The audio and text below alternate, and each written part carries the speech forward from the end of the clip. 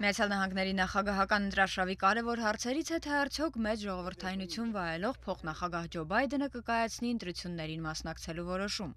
Շատ դեմոկրատներ մեծ հույսեր են կապում Բայդենի մասնակցության հետ, դեմոկրատների առաջատար թեկնածու Հիլարի Քլինտոնի վարկանիշի անկումից հետո։ Սակայն փոխնախագահը դեռ վարանում է որոշում կայացնել։ CBS հեռուստաընկերության The Late Show հաղորդման նոր հաղորդավար Սթիվեն Քոլբերթի հետ անկեղծ հարցազրույցում Բայդենը նշեց. I don't think any man or woman Չեմ կարծում, որ որևէ մեկը իրավունք ունի հավակնելու նախագահի պաշտոնին, եթե ինքը չի կարող նայել իր ժողովրդի աչքերի մեջ եւ ասել, որ պատրաստ է իր ամբողջ էությամբ նվիրվել այս գործին։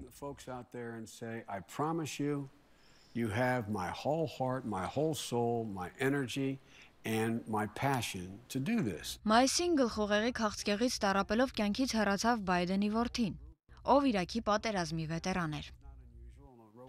Վերջերս զինծառայողների հետ հանդիպման ժամանակ, երբ ինձ զինվորականներից մեկը ասաց, որ ծառայել է որդուս հետ, ես կորցրեցի ինքնատիրապետումս եւ հասկացա, որ չեմ կարող այսպիսի էմոցիոնալ վիճակով քաղաքականությամբ զբաղվել։ Ցավոք սա Ջո Բայդենի կյանքի առաջին մեծ դժբախտությունը չէր։ 1972 թվականին Բայդենը ավտովթարում կորցրել էր կնոջն ու դստերը։ Ամերիկայի ձայն Վաշինգտոն